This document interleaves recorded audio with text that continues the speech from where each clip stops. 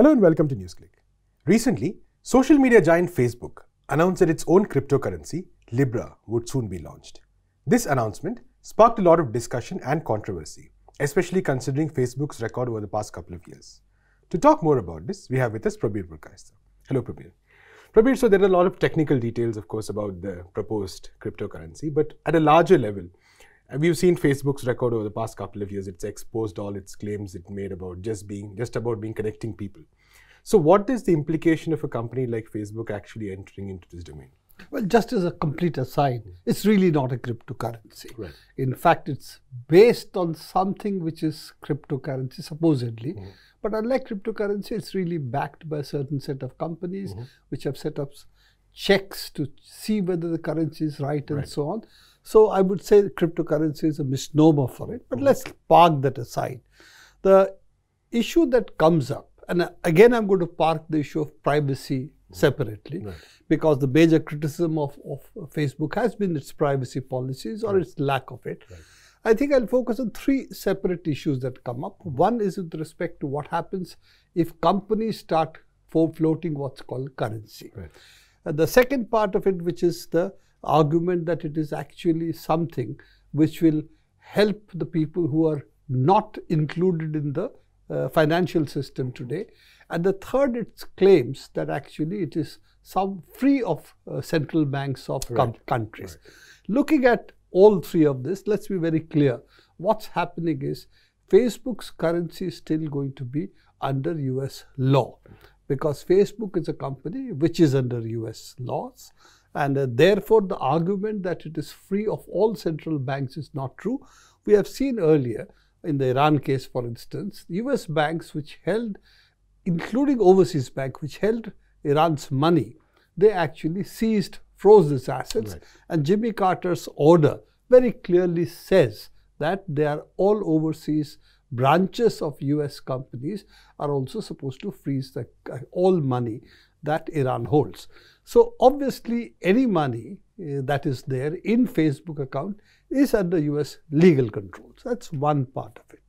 The second part of it is that it does appear that on the issue of privacy there is some real cause of concern because it's also supposed to give what is called a digital identity. It's tucked away right. in one, one place in the whole white Libra paper. white paper. Mm -hmm. But that seems to indicate that they, along with Facebook's partners, by the way, it's not just Facebook, there are associates of Facebook in it, yeah. consortium, but it's clear that Facebook is really underwriting the whole operations. That they, they effectively, that they will give what is called digital identity, which means that there is now going to be a digital identity given by private companies. And remember the Aadhaar argument that is there. On the question of inclusions and exclusions, let's be very clear. This is the argument that came up during free basics as well, uh, when particularly in India, when they said that we are going to include everybody and therefore we are making uh, internet available to everybody. What it meant was they're giving Facebook to everybody and as Facebook's basic uh, shall we say business model is eyeballs and selling it to advertisers. What they're doing is really tying up with telecom companies to provide Facebook and whoever would use the Facebook platform. Uh, so they could also garner their data as well. And Facebook then would become leveraging that a much bigger, uh, shall we say, eyeball uh, collecting mechanism than any other company. And we knew that so-called financial exclusion was really gathering more and more commodities, as we know, on Facebook, platforms like Facebook and Google. We are the commodity. It was gathering more of us. And that was the purpose of this entire exercise. Mm -hmm. What is important is Facebook is now entering the financial world, right. and I think that is the that's what we need to discuss. What happens when a currency, supposedly a currency, enters the financial world? What is the impact it is going to have on that world? I think that's the key difference that right. this thing is going to make. It's not inclusions, it is not a cryptocurrency, and it is certainly not free of all control of governments. It is under US government control indirectly. Right. So uh, looking a bit more into what you said in terms of what is the impact of it. Now, in many countries, there has been also regulation of these new financial instruments, so to speak, even in India for that matter. So, but how does how do you think Facebook is actually placing this as some sort of an international currency despite all these regulations and rules being there? So here is the issue that any entity, whether it's a bank or a financial institution that deals with something like money, has to do two things. It has to ensure that people who keep money with them do not lose access to their money. That means it is not something that can be, shall we say, seized by the party which is holding that money. And there has to be certain checks, balances, and regulations for that. The second part of is any transaction takes place within that system. Does these transactions get recorded for the purpose of what I would call regulatory checks of a different kind? Income tax to money laundering. All these come when you deal with money. So each country has its own regulatory structure which deals with either financial institutions mm-hmm. in which banks are a subset of them, but specifically, of course, the banks as well, because banks, in fact, are the conduit, shall we say, right. for the central bank to create money. so this given this infrastructure, what happens when an entity which is extra, shall we say, uh, country-wise, mm -hmm. does, does not obey the laws of that country. As you know, Facebook in India, for instance, has said, we're not under Indian law. Right. We're only responsible for US law, and that's it. So what happens if a uh, country, if an entity like this operating in a country says whatever financial transactions are taking place, really taking place in the United States, we do not have to obey any of your laws right. and all the rest regulatory restrictions which are applicable to financial institutions. So what happens? Right. This is the essential issue that we might get, that it will free in that sense uh, this so-called currency which is being floated by Facebook out of the control of other countries except the US. So right. this is one issue that comes up. The second issue has come up, how is it that Facebook currency will operate? Its Facebook currency will operate by us buying, effectively giving Facebook some cash.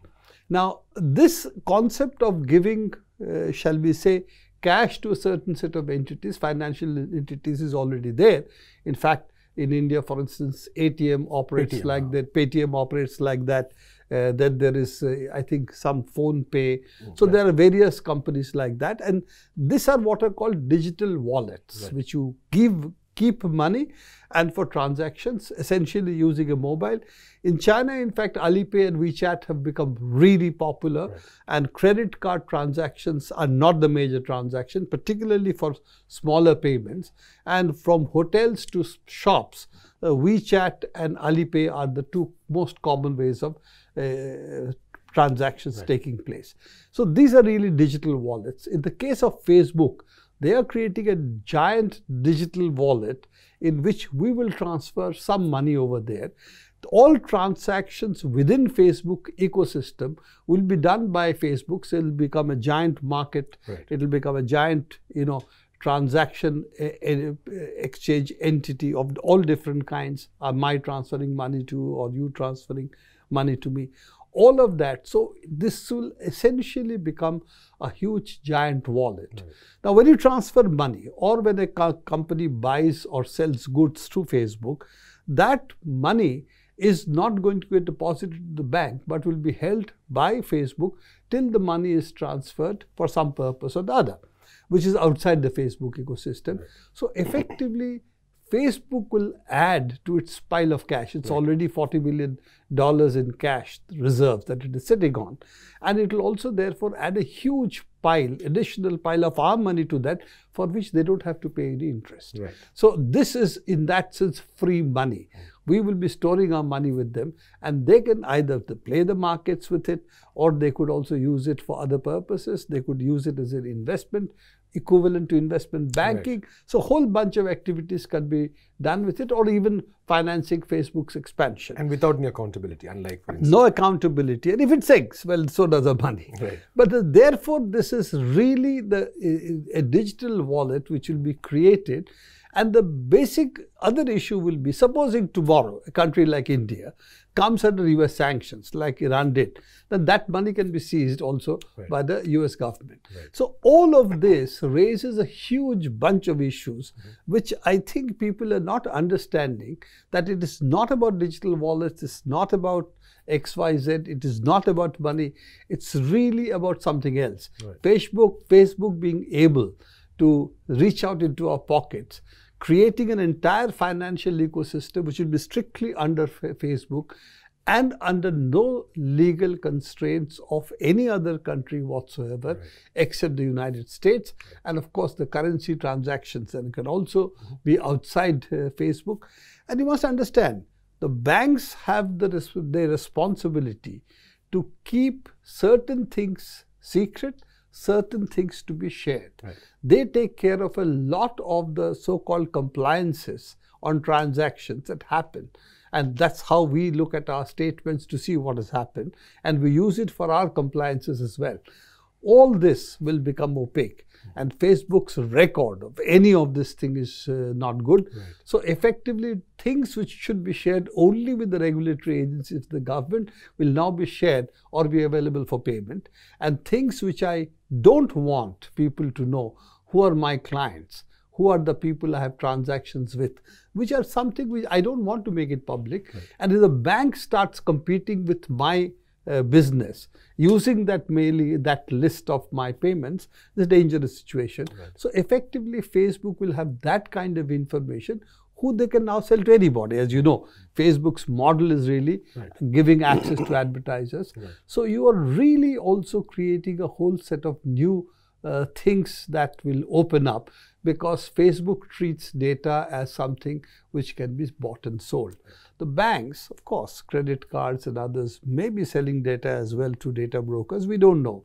But the point is, there are certain set of regulatory checks right. on right. these entities mm -hmm. and unfortunately none of them will operate on facebook particularly as i said for countries outside the us also it's ironic that cryptocurrencies were also hailed as a new frontier of freedom, so to speak, which, which was completely cut off from the existing uh, banking system, which uh, heralded a new age of independence, so to speak, for users.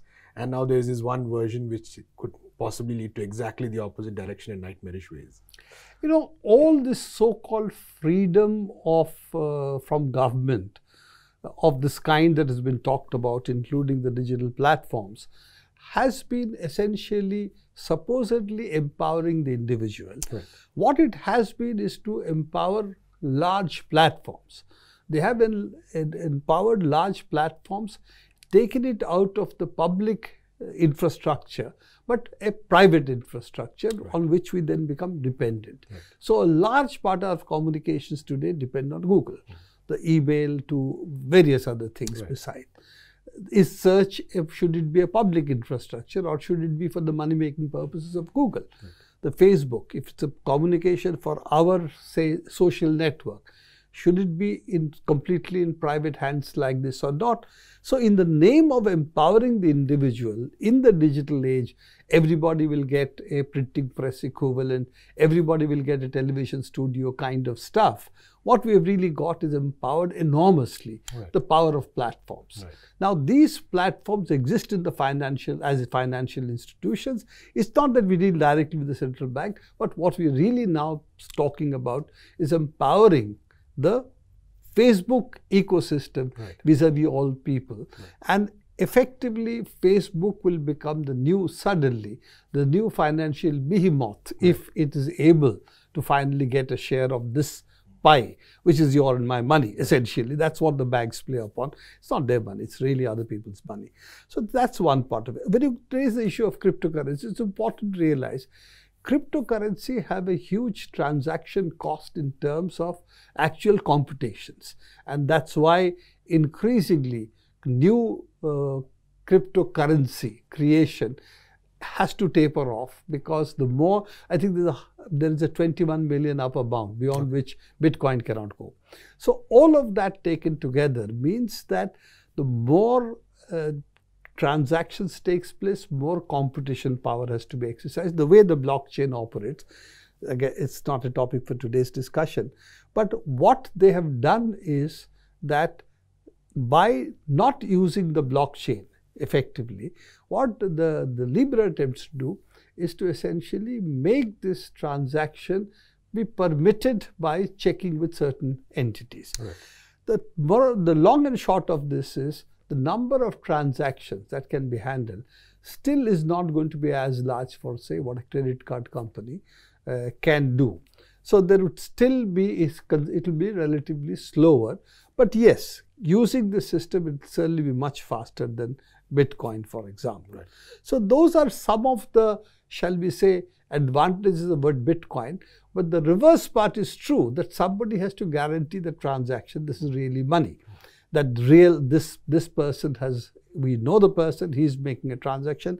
I know that he has the money to make the transaction.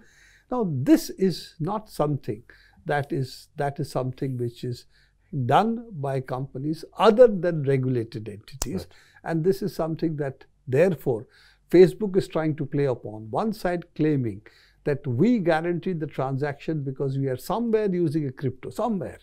And the other side to say, therefore, there is no need for a regulation because we are doing that. At the same time, telling the people, look, it's not really crypto because otherwise it will be too slow. So we will verify it. Right. So effectively, the verificatory role of the financial institutions dealing with money, they are arrogating to themselves. That's all that is happening in the so-called crypto that they are talking about. So the bottom of it, this is not really a cryptocurrency. That is why it's being called a stable coin and so on, which means its value will not fluctuate the same way as a dollar or any other currency can fluctuate. I really don't know that you can have a currency that does not fluctuate and it is not uh, pegged to anything in the world.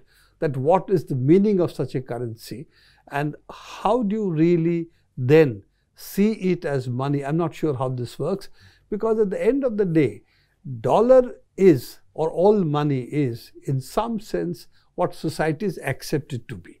Otherwise, really, we do not know. Uh, once there is no gold stand- standard, what is the value of money? Let's also see value um, uh, money as something which is used for exchange or stored as well. So, a store of value or an exchange of value. A lot of the classical economists or the Marxists would say at the end of it, it's actually pegged to labor power. So that is the other other issue that comes up.